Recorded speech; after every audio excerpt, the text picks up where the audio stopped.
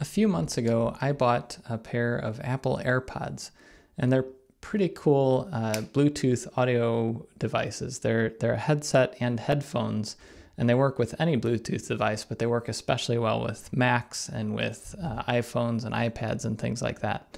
Uh, but I had one issue, especially with my Mac. Uh, when I was more than a foot or two away from it, I would have connection dropouts pretty frequently, and it seemed to be very random. The first thing that I did was I searched the internet for what could be causing this to happen, what kind of things can cause the Bluetooth dropouts. Uh, so I found the page on Apple's website that's one of the most comprehensive in terms of the suggestions. Uh, it tells you about things like microwaves and satellite receivers and uh, certain cordless phones and uh, problems with LCD displays and cables and things like that. I, I actually followed through on testing all of these different things. I even went as far as turning off and unplugging every single electrical device in my office, everything in here, uh, as well as even turning off the LED lights that are in the office to, to give me the lighting. Uh, to see if there's anything that could be causing that interference. I even went as far as turning off Wi Fi in my entire house. Uh, and uh, to give a little more background, I'm actually eight feet underground in my basement in this office. So this is probably one of the most radio isolated places in this entire part of my uh, in this entire part of the neighborhood. Uh, so it seemed like none of that was working. So I needed to go a little bit deeper. Uh, the first thing that I did was I opened up the Bluetooth menu. I held down the Option key on my keyboard, open up Bluetooth, and if you hover over your device, you can see uh, the RSSI, that's, I think it's raw signal strength indicator, something like that. It tells you the level of, of signal that's coming from your Bluetooth device to your Mac. And if you hover and click again, it'll show you an updated value. Uh, but this is not very helpful because it's hard to do something like move back and forth and see what the value does. Uh, so I found pretty pretty quickly this cool tool from Apple. Uh, you have to be an Apple developer to be able to download it. Uh, but if you go to the developer.apple.com download section and go down to see more downloads, you can download this t- tool that's part of the additional tools for Xcode 8.2.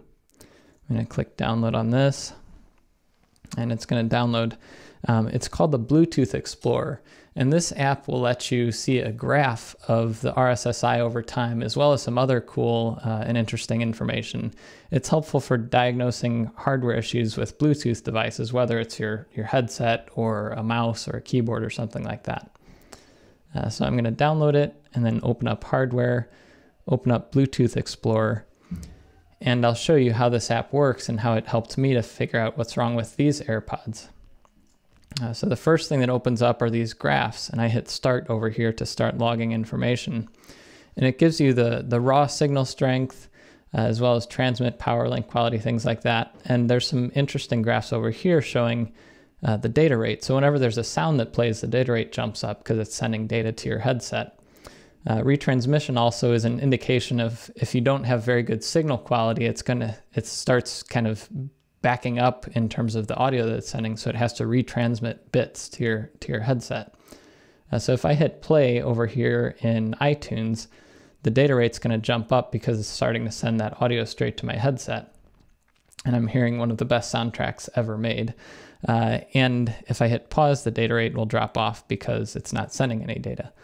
So these are some great tools for seeing how good is the quality of my audio connection, how good is the quality of the connection to the computer, all that.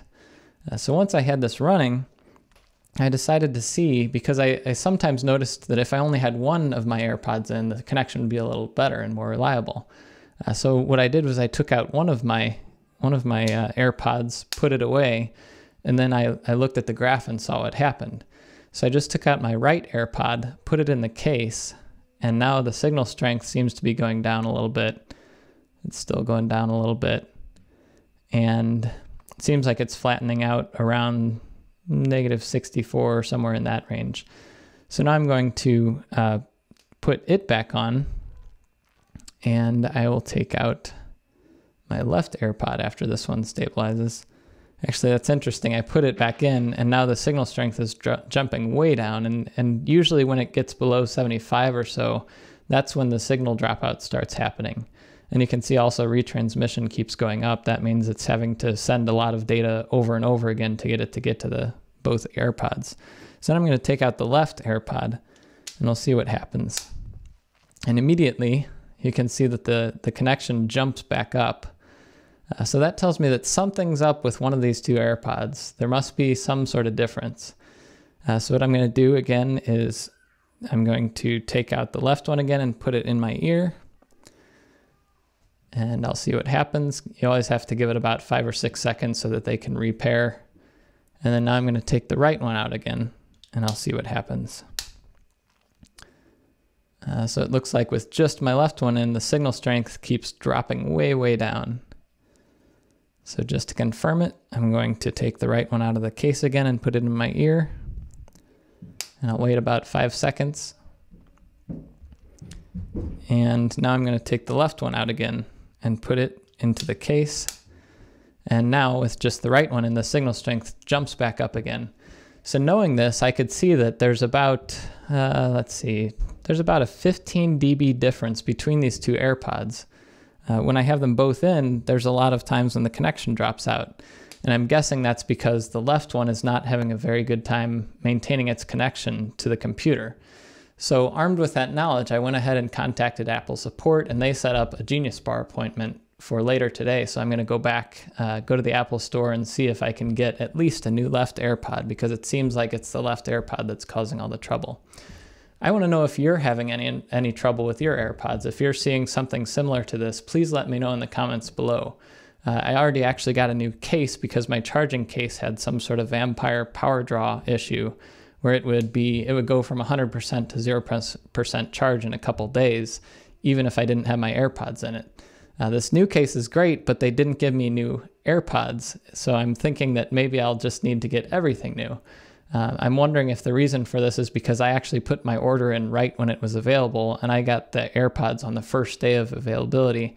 Maybe those early AirPods that were manufactured had some defect in them. I'm not sure. Uh, but let me know in the comments below if you've had this issue, and I'll be posting updates in my Twitter feed and elsewhere about what happens when I get the new AirPods.